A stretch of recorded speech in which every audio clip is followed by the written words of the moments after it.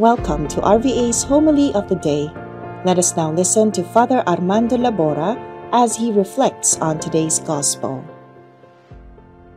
Dear brothers and sisters, doubting Thomas is how we normally call the Apostle Thomas who doubted unless he sees the risen Lord in the flesh.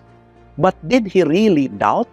Or Thomas simply wants to have a confirmation about the news that Jesus has risen?